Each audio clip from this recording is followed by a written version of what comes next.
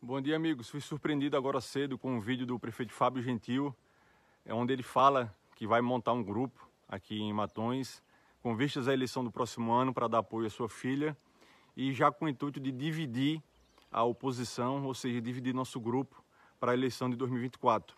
Me causou tristeza esse vídeo, porque na eleição passada de deputado eu votei no pai de Fábio para estadual, votei no federal que ele pediu, que foi o Paulo Marinho Júnior, os dois foram muito bem votados aqui em Matões, tanto é que a votação, a maior que eles tiveram, fora de Caxias para estadual e federal, foi aqui em Matões, e o compromisso e o pedido foi um só. Fábio, me ajuda a ser prefeito de Matões. Ajuda meus amigos, ajuda meus vereadores, me ajuda na eleição. Esse foi o compromisso. Chegou a eleição ano passado de prefeito, passou a convenção, o Fábio não veio aqui, passou a eleição toda e o Fábio não apareceu, não me deu apoio, sequer colocou os pés em matões e me deixou literalmente na mão. Passa agora a eleição e ele queria, gostaria que eu votasse na filha dele para federal, não tinha como. Quem me ajudou na campanha quando eu precisei, quem me deu a mão, foi o deputado Rubem Júnior. Foi quem pediu que sua família me ajudasse, foi quem pediu que o seu grupo político me ajudasse, foi quem me ajudou com apoio moral, com estrutura para a campanha. Então agora eu não poderia ser ingrato e virar as costas para ele.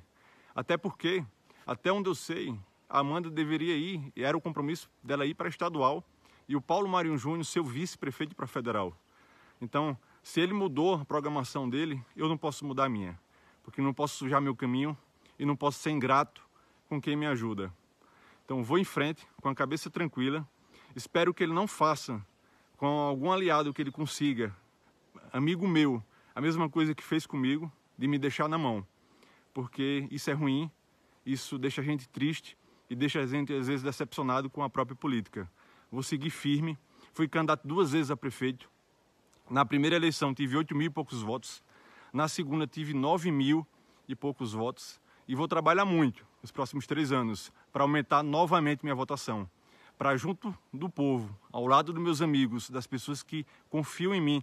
E já demonstraram isso duas vezes na, nas urnas, buscar os mais de 10 mil votos que eu preciso na próxima eleição, assim aumentando nossa, nossa votação e conquistando a vitória.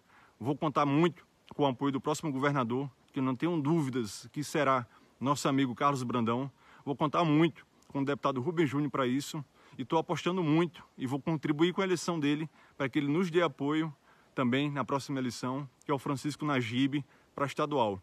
E conto, acima de tudo, com os meus amigos que nunca me deixaram na mão. Vamos em frente, sempre falando a verdade, olhando no olho e com o compromisso de fazer uma Matões melhor.